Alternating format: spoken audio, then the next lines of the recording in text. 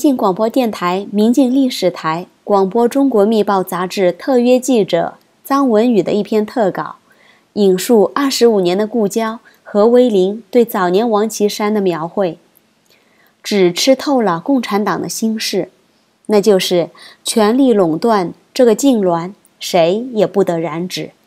全文如下。主掌中纪委的王岐山，无疑最为人猜不透。它有太多的侧面和层面，占据太多的结合部、连接点。不过，二零一五年十二月，王岐山一位去世二十五年的故交的遗作在香港出版，其中对早年王岐山的描绘，给了人们一把认识当今王岐山的钥匙。许多行径让人们看不懂。如果说李元朝、刘延东等人有太子党、共青团、华东帮、清华群或北大群之类五花八门的标签，但都是身份、经历、学历等外在的类别，而王岐山不一样，他的多侧面、多层次涉及的是价值理念和思想倾向这些内在的东西。例如，分析人士对中国密报记者说。王岐山深受杜润生的青睐。杜润生因为早年在当中共中央中南局秘书长兼政策研究室主任，提携过华南分局副书记兼分局农村工作部部长赵子阳，从此结下渊源。在赵子阳被政治元老拔擢为国务院总理之后，杜出任农业政策制定的关键职位。被誉为中国农村改革之父，杜润生是王岐山为改革派智囊中的后起之秀，给他压担子；而王岐山是时任国务院副总理姚依林的东床快婿，在这位老泰山的庇荫之下，顺风顺水。而众所周知，姚依林是计划经济的铁杆卫士，与赵子阳根本相左，处处唱反调。分析人士还说，八十年代初期，王岐山名列《走向未来》丛书的编委。这套丛书是那个年代丛书热的领头羊，作者集中了当时中国最优秀的一批知识精英，体现了当时中国思想解放最前沿的思考。但另一件可疑的事是，传邓小平在一九八九年六四期间恶狠狠说：“杀二十万。”保二十年稳定，但后来又传言其实是王岐山说的。这一句狠话是他向中共顽固保守势力交上投名状。王岐山许多言行让人们看不懂。早年他是历史专业的工农兵学员，学术功底不足，虽然名列所谓改革四君子，但是有顺口溜说。温永熙的脑子，黄江南的嘴，朱家明的文章，王岐山的腿。其中对王的贬义不言自明，指他只是腿勤，到处奔走张罗，穿针引线而已。但他当官之后，却不时要摆出读书人的架势，推荐西方文史经典名著，颇能唬人。二零一五年，当代著名政治学家，历史的终结。作者弗朗西斯·福山访华，王岐山于四月二十三日约见福山等人。人们期望看到一场高水平的两山问答。王岐山只是会见刚开始时交谈寒暄了几句，说请三位客人今天也给我们上上课，然后就长篇大论的自说自话。事后，福山评价说像玄学讨论。当福山婉转的进谏，不知中国的宪法能否做到 rule of law 并司法独立？王岐山立即断然否定，不可能，司法一定要在党的领导之下进行。七上八下，王岐山打老虎是上任之初最为人所称道的政绩，不知说了多少狠话。而且也确实拿下了一批民怨沸腾的老虎，取得了震慑的效果，在官场上赢得了宁见阎王，勿见老王”的名声。但是王岐山对一大批显而易见的虎宗却置若罔闻，尤其是对在全球搅得周天寒彻的巴拿马文件，彻底装聋作哑。对其中包括中共四代领导人、前常委和现任常委家族亲属的线索，坚决避而不谈。这种选择性打虎，使官员和民众都如梦方醒。老虎该不该打，关键是看他站在哪一边。诸如此类，让人们对王岐山疑窦丛生。随着十九大逼近，关于王岐山前景的传闻更是甚嚣尘上，说法两极。一九四九年出生的王岐山，二零一七年将届四六十八岁。按照过去几届形成的七上八下的年龄杠杠，他应该告老退休。但是坊间盛传，打虎大业不能没有王猎户，打不进老虎，绝不下战场。王岐山被习近平要求连任中纪委书记，继续分担风险。更有甚者，称习近平打算让王岐山取代李克强接任国务院总理。不过，相反的说法几乎同时传出。习近平上任快四年，除了集权，别无所长。醉心于个人崇拜的苗头，更引起党内高度不安，酝酿反弹，推其下台。而王岐山接任总书记，被认为是最少引起负面波动的方案之一。这种说法明显带有离间习王关系的意味。但是王岐山是否真会被其吸引呢？在这种情况之下，人们更迫切地想深入了解王岐山。究竟是个什么人？这时候，传说中的何为林手稿一书出版了，其中写道：“王岐山的文字引起广泛关注。英年早逝的传奇人物何为林是谁呢？当今读者或许对这个名字感到很陌生了。”因为他一九九一年六月五日在墨西哥因车祸去世，到今年已经整整四分之一世纪。何为林算得上是一位传奇人物。一九六二年，他考上北京大学技术物理系，文革中因思想罪被批斗劳改，文革结束后才获得平反，重返北大任教。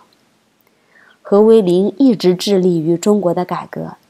但他选择走上层路线，这一来是因为他认定在中国只有通过掌权的上层，才能有效的推行改革举措；二来是因为他恰好拥有走上层路线的特殊关系。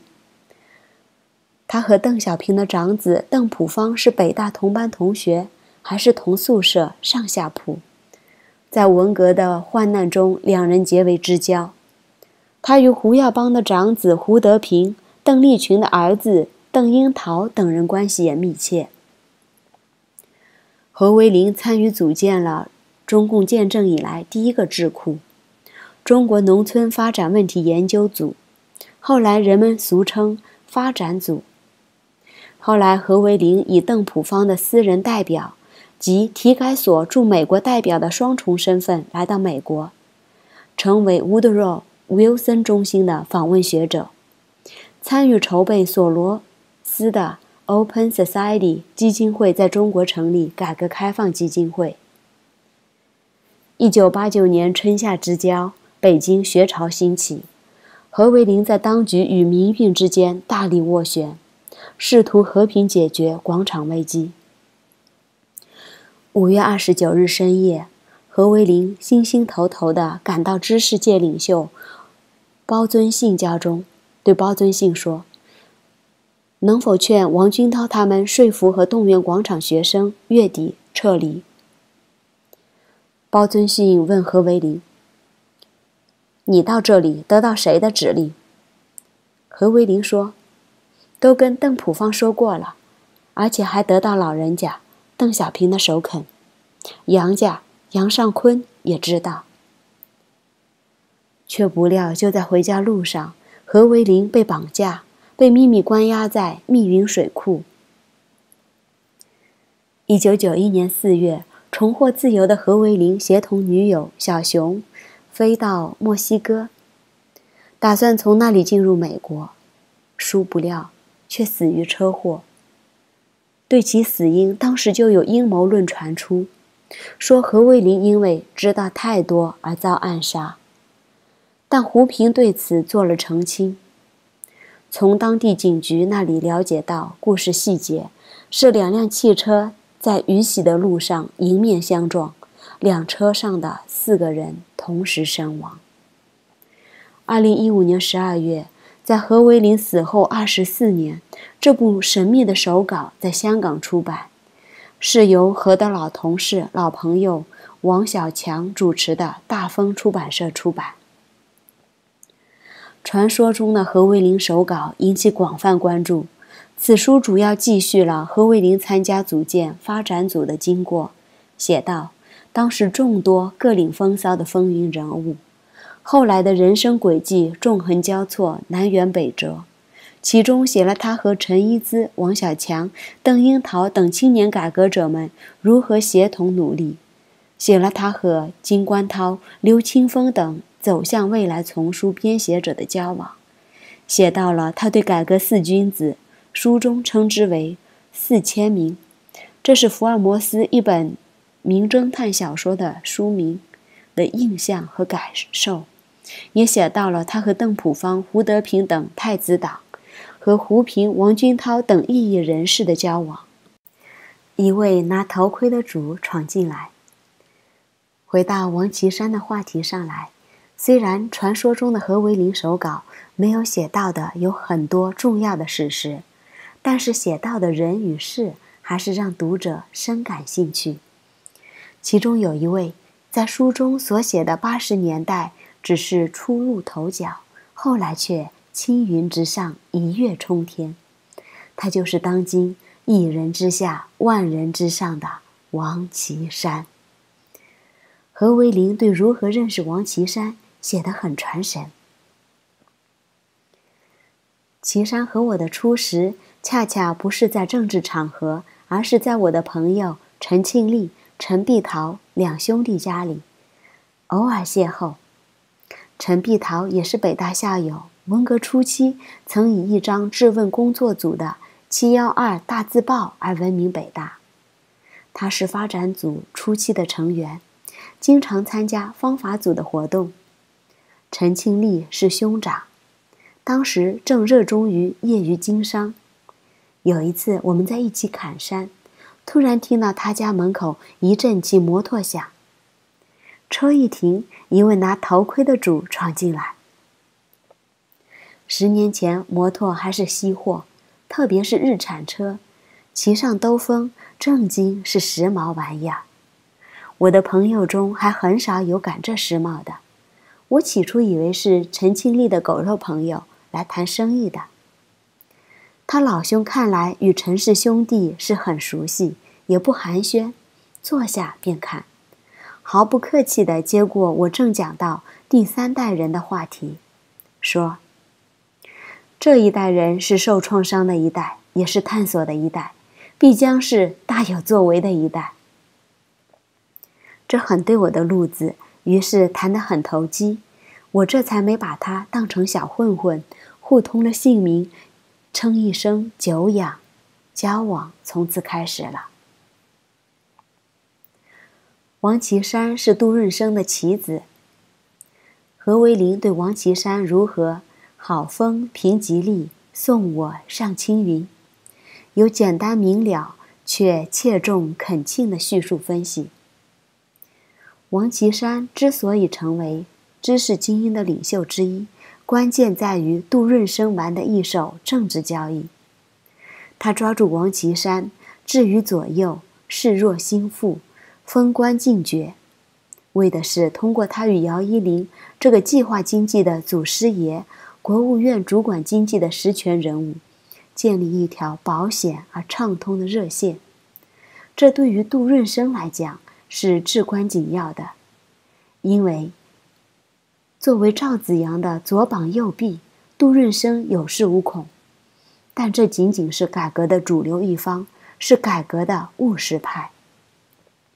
而稳健派作为计划经济的营垒，在中国改革的推进过程中，始终是一个极强大的、不容忽视的政治力量。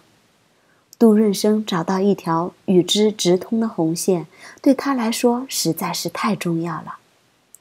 当代政治是平衡中求变通的政治，人们把玩平衡术看得太重要了。在何为林看来，王岐山是杜润生的棋子，才有了能纵横捭阖的棋盘。岐山也正因为有这么个背景优势，有这么深层的交易。便处处占得上风。本来为赵子阳、万里、杜润生等提供农村改革的调查报告和决策方案的主力是发展组。从1982年开始，中央制定每年关于农村改革党政方针的一号文件，都有发展组的参与。甚至到后来，发展组成为了文件的主要起草人。随着陈一兹的生病。我的退居二线，发展组的大权竟旁落到岐山手中。发展组这个舞台本身就很重要，对王岐山来说，更重要的是成了他的起跳板。当时中央为了适应农村改革和发展的需要，决定在中央书记处农村政策研究室之外。再成立国务院农村发展研究中心，实际上是一套人马两块牌子，主任都是杜润生。在国务院农研中心之下设立了联络室，联络四面八方的研究力量，是一个重要职务。杜润生特委任王岐山，由示范与发展组精英们的往来。王岐山自然就名正言顺的插手，尽管不是时时处处事事都经他的手，至少他都参与了解。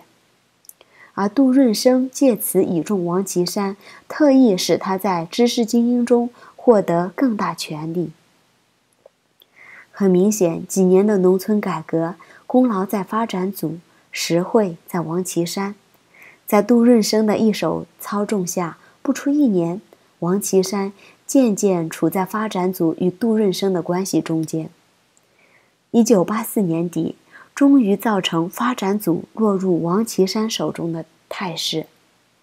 好在一个新的机会到来，陈义咨奉赵子阳之命组建体改所，于是拉了原班人马中的十几名骨干，推出发展组。王岐山得以名正言顺地入主。不久，更名为发展所，出任第一任所长。笑脸相迎的独门绝技。不过，何为林笔下的王岐山这个棋子，并不是无所作为，被动的被棋手们搬来挪去。他有自己的独门绝技和主动精神，非常自觉的，也非常有效的利用了。天时地利人和。何为林反复说过，王岐山一方面是两头都沾的人物，一头是知识精英，一头是太子党。凭他的老岳父的地位，王岐山轻轻松松的出没官场，如虎添翼。特别是岐山交游十分广阔，类似于唐兴，在第三代的大的政。治圈子里，他沾了两头，一边是知识精英，一边是太子党。但另一方面，何为林也写出了王岐山自身的本事。翁永熙下放凤阳，后脚刚一离去，王岐山的前脚就迈进，填补他的空缺，当上农村政策研究室的联络主任。王岐山虽然不如温永熙那样显露纵横才气，但论口才、干才也并不逊色。他为人笑脸相迎，笑脸相送，虽然笑容明显是挂上去的，但绝不似温永熙那样咄咄逼人，也不似朱家明、黄家南那么明示镜头，一身傲气。要论官场上的事，岐山在精英群里出类拔萃。即便是王岐山与元老权贵的关系，也体现了他自己的努力。驸马毕竟不同于太子，并非凭着血缘就能天然跻身这个圈子的。他的中学同学传了不少他早年奋斗的译文。当年插队到延安地区。正义上姚依林之女，适逢姚依林受冲击不得志时，王岐山对姚依林之女发起一次又一次的猛烈进攻。他眼明手快，腿勤嘴灵，不辞辛劳，照顾得无微不至，心诚感人，终于一线前程，也因此埋下了以后一线通天的伏笔。处理。关系的软功夫。何为林用了更大的篇幅来写王岐山如何处理与他人，尤其是那些瞧不上他、与他格格不入的人的关系。他说：“岐山和我始终没有深交，互相很尊重，往来很注重礼数，我们之间从来没有发生过什么不愉快的事，一点儿。”局语也没有，倒是他和发展组的不少骨干总是貌合神离。这些人当中最重要的当然是陈一姿。岐山与陈一姿经常性的明争暗斗，特别是暗斗，则早已是圈子里的公开秘密了。然而岐山很明智，他始终保持和陈一姿的关系，大面上说得过去。让局外人看起来一团和气，甚至亲密无间。他笑脸相迎，笑脸相送，绝不轻易耷拉下脸。反倒是陈一姿沉不住气，一有机会就想扁他一下，可又不能扁到哪儿去。搞什么大型活动，还非得有他不可，非得捧着他当重要角色出场不可。还有后来当上。赵子阳秘书的李香鲁，李香鲁很不买王岐山的账，碰在一起，一有机会便磕磕碰碰，但也不公开闹翻、撕破脸皮，只是说话时是话里有话，话中带刺，局外人不清，局内人了然。何为林感叹：王岐山真有处理关系的软功夫。软功夫可以把紧张状态软化了。发展组的老资格们尽管不很喜欢王岐山，但多半可以容得下他那套八面玲珑的软功夫。居然陶英桃在一个所里与其共事好几年，没出什么大不愉快的事，这当然更证明了王岐山的软功夫够水平。但是何威林也看到，软功夫并不能达到对所有人收拢人心、笼络人才的功效。最典型的例子是王小强。陈一姿得病期间，岐山使劲对小强下功夫。他明白，只要小强收过来，发展组就在他实际的控制或影响之下了。那时，小强常到我家。每每发王岐山的牢骚，总觉得与岐山往来别扭费劲儿，总觉得不舒畅。最后，岐山尽管在杜润生这个大靠山的支持下接管了发展组的本部，但还是让王小强跑了，让他和一些主要骨干追随陈毅之去了。中国的当代英雄何为林从旁观察王岐山。入木三分地点出其若干弱点、短板。说到底，王岐山凭着他的政治背景、左右逢源的软功夫、打学术官腔的本领，作为官场人物，资本绰绰有余；但作为思想理论界的人物，深度略显不足。若以真心实意投入中国的改革论，他不会更强于温永熙。讲的赤裸裸些，与我们这些誓与旧体制决一死战的人，绝不可同日而语。但从事多年改革实务、深谙官场规则的何为林，更充分肯定王岐山是中国这个历史阶段的当代英雄。在王岐山、何为林多人努力下，发展组经历了一两年的危机状态，狭路逢生，走出低谷，柳暗花明，成了正果。换了个大牌子，中国经济体制改革研究所，成了中共高层改革决策智囊团。在此基础上，他们的野心也更大了，要实现精英汇聚的大一统，以体改所为核心，形成大的松散外围。北京青年经济学会由此而生。何为林说，名称叫北京青年经济学会，实际上不完全是学会，也不局限于经济。至于北京。也含有全国之首的意思，由此圈动全国。青年则指当时所讲的中青年理论界，这便是一个更大的舞台。北京青年经济学会实际上是第三代知识精英全国总联络站。何威林借金观涛的评价说。金观涛对王岐山的评价最高。一九八五年，我们一路去蛇口时，他说：“我们这一代有两个有突出贡献的活动家，王岐山是政治活动家，何威林是社会活动家。”何威林还说：“有趣的是，正因为他善于做官。”正因为他在官场上有了根基，发展了实力，王岐山反倒成了支撑知识精英从事改革、从事现代化启蒙运动的重要支柱之一。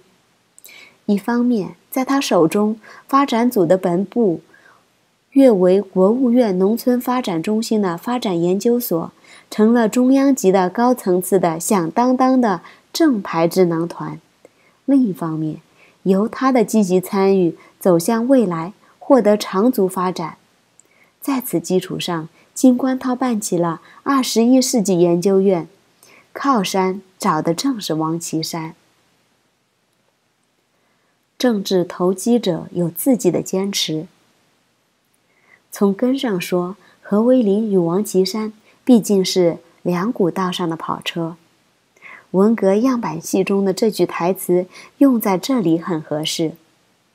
何威林谈到，在筹建北京青年经济学会的日子里，陈一之多次来我住的二十二号楼找我商议，朱家明也来的较频，王岐山也来商议过理事会名单。